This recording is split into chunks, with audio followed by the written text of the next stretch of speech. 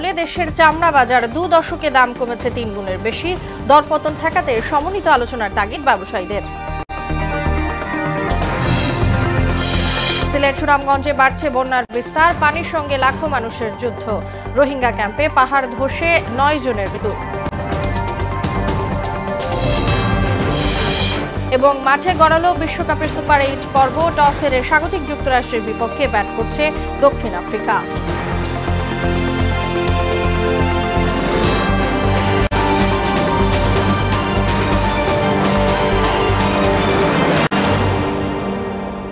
আসসালামু আলাইকুম, সবাইকে মোহনা সংবাদে স্বাগত। শুনছিলেন শিরোনাম, সঙ্গে আছি তাসনুবা বিনতে তাহের।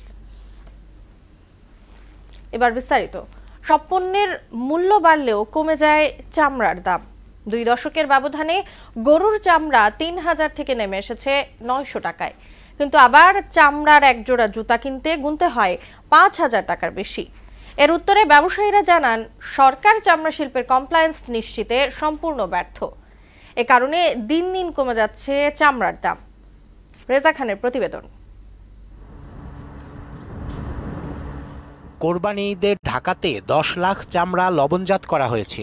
এর অর্ধেকের বেশি চলে এসেছে সাভারের বিসিক চামড়া শিল্প নগরীতে। আর সামনের সপ্তাহ থেকে আসা শুরু হবে ঢাকার বাইরের চামড়া। ঢাকার বাইরের মাল এটা পর্যায়ক্রমে ঢুকবে আর কি ধীরে ধীরে। রোববার থেকে আসবে ওটা বাইরেরটা। যে উদ্দেশ্যে হেমায়েতপুরে এ শিল্পনগরী গড়ে তোলা হয়েছিল তা পূরণ হয়নি। Common effluent treatment plant CETP বা আধুনিক বর্জ্য ব্যবস্থাপনা এখানে নিশ্চিত হয়নি। আন্তর্জাতিকের পরিবেশটা মানে হয় নাই। টিভি টিভির কথাই কি বলতেছি আর কি? এটা আসলে ভালো কাজ করতেছে না। পরিবেশ বয়স একদম দূষণ। আন্তর্জাতিক হিসাবে জিনিসটা তৈরি হয় না। এদিকে সব পণ্যের দাম বাড়লেও কেবল কমে চামড়ার দাম। বিশ বছরে তিন হাজার থেকে দাম নেমে এসেছে নশো টাকায়। কিন্তু চামড়ার জুতার দাম আবার আকাশ ছোঁয়া। এসব প্রশ্নের উত্তরে ধানমন্ডিতে চামড়া শিল্পের বর্তমান পরিস্থিতি নিয়ে আয়োজিত সংবাদ সম্মেলনে বিটিএর সভাপতি বলেন। জুতা তৈরির উপাদান আমদানি নির্ভর তাই এর দাম বাড়ে।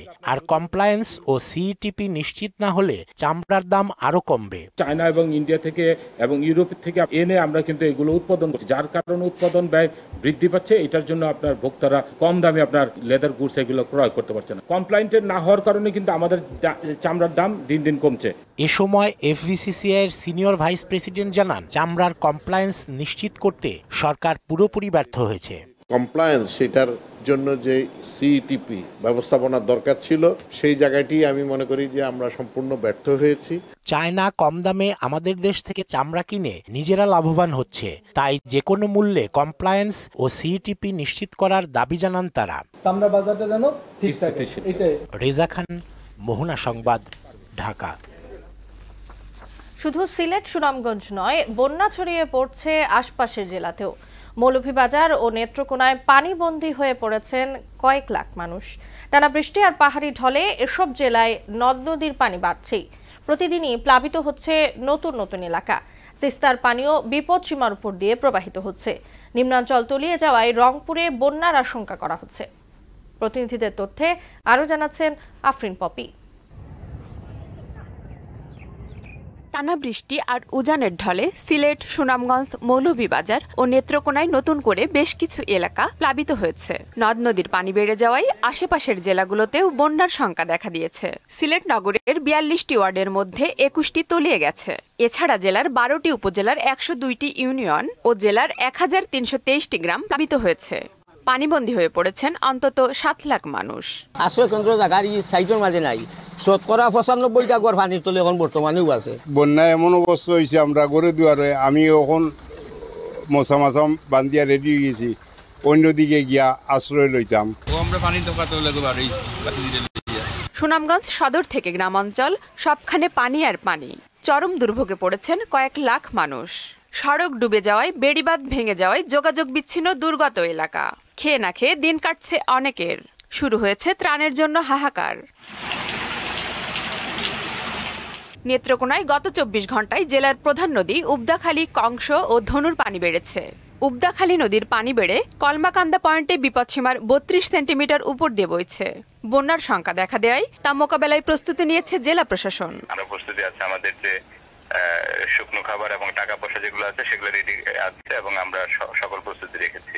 টানা বৃষ্টি ও উজানের ঢলে মৌলভীবাজারের ছয় উপজেলার সাঁত্রিশটি ইউনিয়নের তিনশো বত্রিশটি গ্রাম তলিয়ে গেছে। পানিবন্দী হয়ে পড়েছেন প্রায় দুই লাখ মানুষ। প্রস্তুত রাখা হয়েছে আটানব্বইটি আশ্রয় কেন্দ্র ও ছাপ্পান্নটি মেডিকেল টিম। এদিকে তিস্তার পানি বিপদসীমার ওপর দিয়ে বইছে।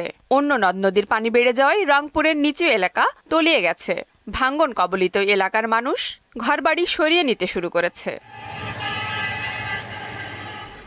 আফরিন পপি, মোহনা সংবাদ। কক্সবাজারের রুখিয়ার রোহিঙ্গা ক্যাম্প এলাকায় পাহাড় ধসে এক শিশুসহ নয় রোহিঙ্গার মৃত্যু হয়েছে। কক্সবাজারের অতিরিক্ত শরণার্থী ত্রাণ ও প্রত্যাবাসন কমিশনার শামসুদ দৌজা নয়ন জানান, নিহতদের মধ্যে নয় নম্বর শিবিরের তিন, দশ নম্বর শিবিরের চার, আট নম্বর পূর্ব শিবিরে এক এবং চোদ্দ নম্বর রোহিঙ্গা শিবিরে একজন মারা গেছেন। গতরাতের ওই দুর্ঘটনায় নিহতদের মরদেহ ভোরে উদ্ধার করে ময়না তদন্তের জন্য হাসপাতালে পাঠানো হয়েছে। সড়ক, মহাসড়কে তিন চাকার যান চলাচলে নীতিমালা তৈরির কাজ চলছে বলে জানালেন সড়ক পরিবহন ও সেতুমন্ত্রী ওবায়দুল কাদের। ঈদের ছুটি শেষে সচিবালয় কর্মকর্তা কর্মচারীদের সঙ্গে শুভেচ্ছা বিনিময় শেষে সাংবাদিকদের কথা বলেন তিনি। জনপ্রতিনিধিরা ভোটের রাজনীতি করতে গিয়ে মহাসড়কে অটোরিকশা চলাচলে মদত দিচ্ছেন বলেও উল্লেখ করেন মন্ত্রী। সেন্ট মার্টিন ইস্যুতে বিএনপি মহাসচিব মির্জা ফখরুলের সমালোচনার কড়া জবাব দেন ওবায়দুল কাদের। ফখরুল সাহেব যদি যুদ্ধে জড়াতে চান তাহলে এই প্রভোকেশনের ফাঁদে আমরা পড়তে পারি। সার্বভৌমত্ব চলে গেলে আমাদেরই ব্যথা লাগবে বেশি। তারা যদি আক্রমণে আসে, তো আমরা কি বসে থাকব? আমরা বসে বসে আঙুল চুষবো?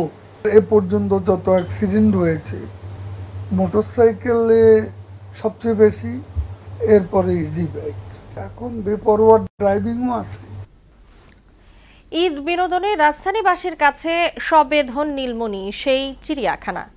কারণ দুই কোটি মানুষের দর্শনীয় স্থান বলতে এই একটাই। তাই ঈদের তৃতীয় দিনেও আবাল বৃদ্ধ বনিতার পদভারে মুখর হয়ে ওঠে জাতীয় চিড়িয়াখানা চত্বর।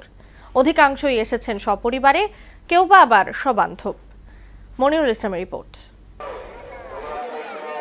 সরকারি ছুটি শেষ হলেও ঈদুল আজহার রেশ রয়ে গেছে। যারা বাড়তি ছুটি নিয়েছেন বা চাকরি বাকরিতে জড়িত না তারা পরিবার সমেত ঘুরতে চলে এসেছেন চিড়িয়াখানায়। ঈদের দিন পশু কোরবানির পেছনেই চলে যায় গোটা দিন। তাই বাড়ির কর্তাদের আর বের হয়ে ওঠা হয় না। ছুটি কাজে লাগাতেই ঈদের তৃতীয় দিনকেই বেছে নিয়েছেন তারা। বাবুদেরকে নিয়ে আসছি চিড়িয়াখানা দেখাইতে। প্রাণী দেখলাম। মানে আনন্দ। আমরা আনন্দ করার জন্য এসেছি চিড়িয়াখানায়। আর এসএসসি পরীক্ষা দিয়েছি, তো আমরা একটা বড় ছুটির মধ্যে আছি, তো আমাদের জন্য এটা আসলে খুবই সুন্দর। আজকে আমরা সবাই মিলে ফ্যামিলি নিয়ে ঘোরাফেরা করলাম অনেক ভালো লাগল।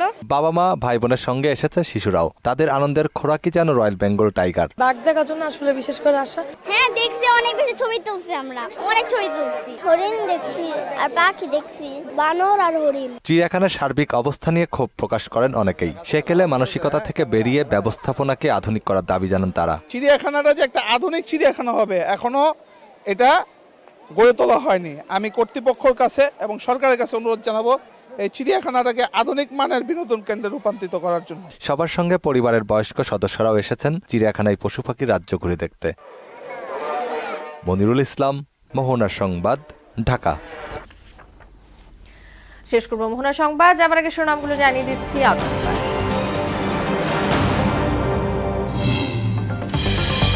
সিন্ডিকেটের কবলে দেশের চামড়া বাজার দু দশকে দাম কমেছে তিন গুণের বেশি। দরপতন ঠেকাতে সমন্বিত আলোচনার তাগিদ ব্যবসায়ীদের সিলেট সুনামগঞ্জে বাড়ছে বন্যার বিস্তার, পানির সঙ্গে লাখো মানুষের যুদ্ধ। রোহিঙ্গা ক্যাম্পে পাহাড় ধসে নয় জনের মৃত্যু। এবং মাঠে গড়ালো বিশ্বকাপের সুপার এইট পর্ব, টস হেরে স্বাগতিক যুক্তরাষ্ট্রের বিপক্ষে ব্যাট করছে দক্ষিণ আফ্রিকা।